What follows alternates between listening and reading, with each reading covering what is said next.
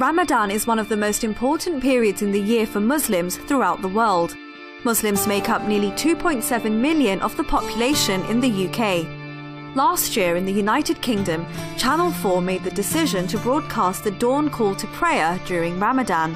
The channel was criticised for this, and the decision resulted in a number of viewer complaints. Its chairman David Abraham was summoned by the Commons Culture, Media and Sport Select Committee to defend the decision. The head of factual programs for Channel 4, Ralph Lee, said, The level of Islamophobia we encountered with the fall Ramadan season was unexpected, though much of it came from communities that were either very polarised or very undiverse. This week on Islam and Life, we ask, how can Muslims work with the media to raise greater awareness of Ramadan? To answer this question, we join Professor Tariq Ramadan in Oxford. The month of Ramadan is a very important month for Muslims. We see all the dimensions and the very essence of Islam as a religion and as a way of life. Muslims fast and pray and seek to serve humanity. The Quran says, We sent you as a mercy for mankind. Muslims living in the West should show solidarity and serve humanity and use this time to show how significant common human values are to them. Despite this, we often see in Western media there is still a negative picture and perception present towards Muslims. How can the Muslim community get better coverage from the media? To shed light on this issue, Professor Tariq Ramadan is joined by television producer and journalist Naveed Akhtar who also worked on Channel 4's Ramadan season. Why do you think that the media in the West or in Britain, for example, are not covering, uh, you know, for example, the months of Ramadan in a way which is positive and showing the very essence of what Islam is? Well, uh, the media tends to reflect what they think is important in society. And up till now, Muslims themselves, particularly in the UK, made Ramadan a very private thing. I mean, my parents' generation, they brought their traditions from Pakistan. Some people brought their traditions from Morocco or from Egypt. And they tried to recreate those, but in their home. The next generation, my generation and the ones who are younger than me, are really looking to take Ramadan out into the streets, out of the mosque, into society, because their friends are asking them questions. Hmm. And as that's begun to happen, some aspects of the media are beginning to notice it and want to talk about it. But unfortunately, it's now the, actually the third most important religious festival in the UK. After, uh, just after Christmas and Easter comes Ramadan. It, it's so largely celebrated. 5% of the country will be fasting. And yet, actually, you're right. I mean, the coverage is nowhere near reflective of that. But uh, just to, to come to the point that you made, because this is very important, and sometimes the Muslims themselves don't get it that in the media, it's a two-way process. It's not only the journalists coming and covering, it's also the way you are exposing, you are interacting, in fact, with the media. And as you said, the first generation, almost everywhere, it was the same in the States, it's the same in the UK, in France, in Europe, uh, in Australia. In Western countries, it's as if uh, uh, we think that the media should cover what we are and who we are and what we do in a positive way while we are not interacting.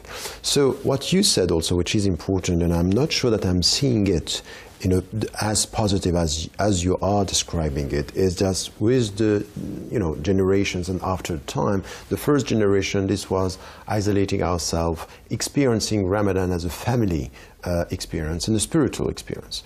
Uh, what you see now, what you are saying, is that we have a new generation of people who are ready to, uh, and still, if you look at all the Western media and even in the UK, yes, we had one or two experiences that were positive and not so positive, but still we don't have the impression that the, the young uh, leadership in the West is understanding that they can really change the perception about Islam and Muslims just only through that month. So why? Why is it that still we are not doing enough? I think it's just a question of, like you said, joining some of those dots are not there. But also, it, it's sort of bad timing for us, even though that generation has appeared and these ideas are there now. It's come, on, it's come at the wrong time, in a time when actually we're seeing Europe turning to the right. We're seeing um, really high levels of Islamophobia. I mean, probably the worst that we've encountered ever. Um, so in that cloud, it's become even harder to actually make an impact. But I'm talking to you on both sides. I'm talking to you as a Muslim and as a journalist, and I hear, I'm listening to what's going on both sides. So my advice always to Muslims has been, we have to kind of do something that is an event. You can't just simply say, it's Ramadan, come and watch us. Watch what? You, are saying you're going to not eat, that looks really boring. It in fact looks very painful to see you not eating, you know. So you have to make some kind of excitement out of it, whether it's, whether it's lanterns or, I mean, my wife bakes Ramadan cookies. It's, it's a new tradition. There was nothing before. But, but, but let me so, tell you, yes, but that's a very important point. Let me just tell you something about the, my own experience. 25 years ago, I was in Geneva, and we decided at the end of Ramadan to make a, a big festival. We invited Uh, uh, non-Muslims and people of other faiths, they came. It was 2,500 people coming for a festival. It was great, it was an event, it was good. Still, it was at the end of Ramadan, it was not Ramadan. Now, what we have in many countries today is to cover Ramadan and not the days, not the spiritual side, is the nights of Ramadan. And sometimes it's just exactly the opposite of the spirit of Ramadan by saying, you know, there is music, there is food, there is, and, and we want to say something else, which is not, you know, we are celebrating as you are celebrating, but there is something which is another message. So some Muslims are reacting to this by saying this is a distortion of the very essence. So how do you keep the very essence of the religious and spiritual side? While you, what you are saying is very important, entertaining and, and showing that it's not about you know being sad and being nervous because you don't eat and you don't drink, and at the same time uh, uh, uh, to, to, to, to, to protect the spirit and to show to the people that they, they can get something out of it. This balance is difficult. I, I think you're right, and I, I, don't really uh, profess to have the answers. I mean, I've, I've also struggled with that problem. I mean, I've made, I, I, I, monitor what comes on, and if you watch the BBC, also marks Ramadan and does something. But if you go past over the past five years, one was about Queen Victoria had a Muslim servant. Uh, nothing to do about Ramadan, but just interesting story. Uh, and everyone was like, oh, Muslim footballers, are, uh, they are in the Football League. Nothing to do with Ramadan, but okay. so the idea becomes that let's just sort of, a bit like patting someone on the head, we just give some little small piece of uh, token gesture. But, uh, and then last year we did a very large season on Channel 4 every day. And in this, I think we made an insistence that we try to at least get through to why actually people are doing this. Now, why it's so difficult is because it goes contrary to the essence of what the society is about, to have more and more and more. So you're sitting there having less and less and less, and people find it very uncomfortable. The biggest thing people find uncomfortable is to see you starving, is to see you thirsty, and it makes them really open their conscience. And to actually capture that as a television program it's, it's not an, it, it, it, while one would probably win you a Palme d'Or at Cannes for the honesty of what you're filming, in British television it sort of makes people switch over. They, get, they become uncomfortable. So we have to put some kind of sugar coating yeah. to, to, to keep that there. So, so, so as we see, there are resistance on both sides. Uh, some are saying, you know, you are giving a too good uh, image of Islam, and this is not going to work. And, and, especially the people who are scared are saying, oh, you are playing. This is a, a, PR exercise that you are trying to do. On the other side, you have Muslims saying, what is it all about? We are not here to sell something. We are, uh, the, the months of Ramadan is for us to come back to our heart. And then how, what would be your advice? Because you are in the field, you know, as a, a, a television producer, and, and, and, and you are interacting with journalists, with an understanding that sometimes is very superficial and sometimes is quite deep. And you are also dealing with Muslims. How, what is your advice just to work with the media, just to do something which is change this perception? What could be the first steps? I think, uh, personally, I think some, a, a, lot of it is around uh, the, selecting people who actually are able to understand both at that same time, have a genuine sense of being European or British, have a genuine sense of being Muslim, and because those are the people who really can actually convey that. And, and again and again, often the media, and I try to avoid it, will pick we'll go into the mosque, knock on the door, and see who's the first person who comes to the door. And if that's the caretaker or that's the imam, then listen and trust him. But it requires more research. I mean, I'll give you an example. Uh, we made a three-minute short program on Laylatul Qadr. Hmm. You know, it is probably the most significant day of the whole year. When you actually think about what the, what the verse says about the night of power, it becomes an amazing, it could be a, almost a fantastical story of magic, of time and space, of physics, of what is happening on this night. And yet, no one has ever made even a five minute film on this. Mm-hmm. And if you visit East London Mosque, as I was lucky enough to do last year, it's one of the largest mosques in London, uh, probably in Europe. in Europe. You, you will experience something. You will feel like you are in the streets of Mecca Mm. which for, for one, two miles in every direction, it is like day and night till four or five in the morning. The shops are open, and people. But when you speak like this, yeah. when you speak like this, that's that that could be very pleasant for the Muslims. If you talk to the, like this to a, a non-Muslim audience, you say, "Oh, London, East London, like Mecca means." they are being coming. invaded. They are, they are, yes. So, so, how? Because this is very essential. This one picture can just have a counter effect that is. Uh, uh, we have to think about this. So, so how how would you deal with this? I think that, that, is, that again comes down to the responsibility of the producer, how you contextualize it, where the subtlety is. I mean, I think we are, we, we are trying to, it's almost like trying to do a very difficult job with our hands tied behind our back. At the end of the day, every channel who gives you an opportunity to put this material on, on, onto, the, onto their channel does have its own restrictions. It does have to listen to its audience. It does have its own board of governors it's answerable to. And so they are required, you know, require a certain level of uh, adherence. Unfortunately, I think the real answer is that we should be also leading. We have failed to produce a channel. We have failed to produce a newspaper. We've failed to produce something which is consumable by non-Muslims.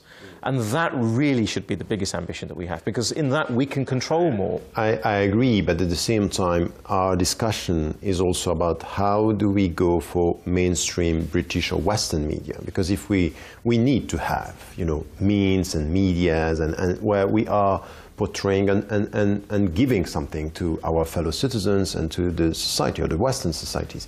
Yes, yet now the problem is the mainstream is all these media that are talking about us very often because this is where the people are going to to, to, to see us and, and, and this is what they are watching and the, the, image is negative. And what you are saying, the producer is playing a key role here. This is something which is important. Does it mean that the producer, as you are, should be a Muslim, man and woman? Is this the point? Well, do, do we have to have more people involved in journalism? Completely. I mean, absolutely. That's, that's been said for a, a, lot of the time. We don't, in a way that you cannot be a master of any field if you do not have experts within that field.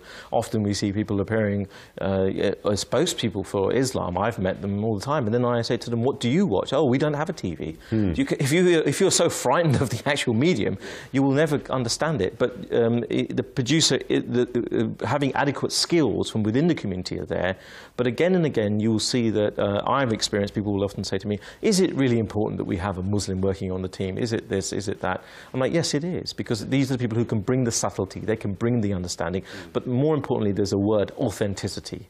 You know, and what we haven't had yet till this point is a sense of celebration, because all we're doing is actually defending ourselves this has gone wrong. There are these accusations, politics, education, you know, Sharia law. The same narrative appears yes. three, four Positive times stories again and important. again. But how about celebrating something with for no reason other than the fact that it's we are, we are there and, and that's something that's a part of us? But this comes to a, a critical question because you know for years I have been telling the Muslims and, and trying to convey the message. You know what? In the West, you should be an added value you should bring something to this society. And for me, the month of Ramadan is still something which is helping us to get a sense of who you are, spirituality, and at the same time, uh, uh, uh, resisting the consumerist society. This is something which is essential here. And we have to be very cautious not to make with Ramadan what we can witness with sometimes the time of Christmas where we just, it's a time where we buy and it's gifts, uh, it's, uh, it's more cultural than spiritual. Now, the, the question is this one. When you do this and when you try to be involved, are we trying, by being in the media, to be accepted by our fellow citizens? I mean, I, I completely share your concerns because there is an essence which is non-commercial and there is also a pressure because we're living in a consumer society to, for people to understand it. And in fact, actually, you know, if you go around Tesco's or Marks and Spencer's, it is simply Ramadan special, you know, buy one, get one free. So the, the, we are facing these things and it, it, there is no precedent even for us to look at Because in many of the other uh, uh, faith uh, um, societies, they, they've also been swamped by these issues. Mm. And so to hold our own, we can't simply completely say it's a it's a spiritual event and actually there's no, no, public engagement in it. And at the same time, we can't simply turn it into a cultural event where there's fireworks and singing after uh, iftar every day, you know. So it's finding this middle, middle ground. But I think media itself is this. It's the discussion of this. It's the discussion in, in a way that one watches Question Time, not to already be informed, but to listen to the different, different angles, from, from the right to the left. By the end of it, you know where you stand. And actually, good media allows us at least to put four different people together and say, I think it's too commercial, I think it's too cultural, I think it should be more spiritual. And in that discussion, people begin to get an understanding of where those tensions are that we as a group are, are finding.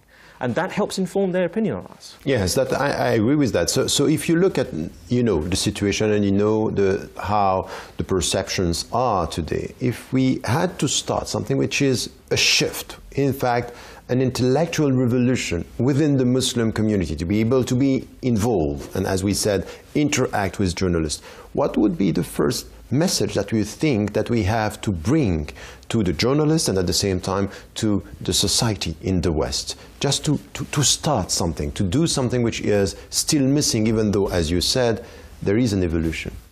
It's hard, to, it's hard to pinpoint it on one thing because at the moment we, we, we seem to be swamped with you know, layers and layers of, uh, uh, of problems. But really, is this idea that actually we are here, we are a part of this society, and I think we have to keep saying that again and again to, and to really feel it, and, to, yeah, and, yeah. and, to live it. Yeah, you know, but but at the same time, you know, when I look at some of the, I've been in broadcasting, British broadcasting for 23 years, and if you look at the parallels with the Afro-Caribbean community, you know, they've got to the place where someone like Lenny Henry, who's a very prominent uh, comic comedian, he's had a big career, he, he has stood up and demanded that, look, we are paying the license fee we must have 10%. We must have separate budgets. You must give us this right. And this used to happen before, but then they reversed these decisions. And in that way, we are 5%. So of the 3 billion or 4 billion a year that's spent on the BBC, 5% is money that comes from Muslim pockets. Mm. So it does involve some form of political agitation. Mm. But the person who does the political agitation often then is one who's excluded from the cream mm. and, and, from doing the work. So when you have a few um, uh, talented people in there, they, they, they feel compromised. They feel like they have to stay quiet. Mm. So I think it's this kind of balance. But at the same time, we, we can't underestimate how much is disintegrating. There is disruption coming. And sometimes, you know, I mean, there, there is a Muslim young boy who, uh, you know, Diary of a Bad Man, five and a half million hits you know, he's 20 years old. He's in a, uh, uh, making films in Slough. He has no experience. He has a small camera. And that's more than what the BBC gets. Hmm. You know, so there is demand. We can see that there is demand there. We can, we can see that there is actually talent there. But why are those doors blocked? They're not just simply blocked because of what we're doing. Some of it is institutional racism, and it's been long reported. The biggest danger, I think, that we're facing is the reversal of social mobility. You know, I am the son of, my father was illiterate. They are, you know, um, uh, landed peasants from Kashmir. I ended up working in the BBC. That will not happen. That will not happen. The doors are closing, and I think we have to be aware of the political structures that are being put to stop that. Mm-hmm. And we have to, and that, that's where I think the, the politics need to come. But if I, it's, it's a contradictory picture because if I, I, listen to you, there is something which is happening within the community, that the, the, the new generations are much more open. They understand much more. The, not only the perception, the way the people around them are, are looking at them, understanding, or some of the fears that the people have. And at the same time, within the media, it's as if there is something which is going exactly the other way which is closing, being very cautious. We have to be very. It's as if the more the Muslims understand, the more the media are closing the doors. It's, it's as if it's, it's, it's a contradictory picture. And, and at the end, many of the young people that I'm seeing, women and men, are saying it's very difficult. It becomes more and more difficult to deal. So we have the choice. We have our own channels, or we are dealing with the mainstream channels, and we are part of, of them. Now, there is a strategy. There is something which is a media strategy which is missing in the Muslim presence in, and, and the, the, the Muslim discourse in the West if we have to go now and to use this time of Ramadan, and, and I, I, really think, as, as we were saying, that it's a great opportunity. Now, uh, for example, don't you think that I would say we should not miss the spiritual message of Ramadan. We should not miss this is something that, in fact, the people around us are always thinking that we are dealing with violence, jihad, and, and women, and, and, and not with this universal message. And we are not there. It's as if we don't know how to spread spirituality within the media. Is this something that you think that we have to do? Have you seen somewhere something that we can promote? Because at the end, this is where we need the journalists. This could make, in fact, spirituality, paradoxically, is making money. That's, that's with Sufis, for example. Today we are always talking about this. How the Muslims should deal with that? How can we do that in the media today? I think this is my life's work. I mean, I've been trying to struggle because it's we're asking for a new genre to appear in the way that there is science fiction or thrillers or murder stories. We're actually asking for the emergence of a genuine spiritual spiritual uh, media content to emerge, and it's very difficult to capture genuine spiritual moments on something as basic as television. It is a very base uh, art form, it's considered. But actually, if you're asking for where should we look to, where could that possible example be, I would say Iranian cinema. Mm. Iranian cinema focuses on excellence, it focuses on creativity, it focuses on talent. Through that, it has layers and layers and layers of meaning to the point where it can win, you know, I mean, something like 140 uh, prizes in non-Muslim uh, competitions. Now, when you produce something of excellence in a way that if you look at a beautiful carpet, or you look at a Pakistani truck, or you look at a Kashmiri shawl, or you go into the Blue Mosque, I call these the icons of Islam. They are universal icons. When you walk in there, I mean, if I go to the Blue Mosque, I see Italian tourists crying because of the beauty. Now, that is wh- what is, we, we did it with architecture, we've done it with carpets, we've done it with food, we've done it with, you know, even uh, music. You know, play Qawwali music to anybody in the world, and they can't help but feel something in their heart. Mm. And so, in that way, we have to now understand the medium of both television content and film. And it's beginning to happen, I think, because I think the, the desire is there on our part. We, know, we understand that it's a big prize that we can get.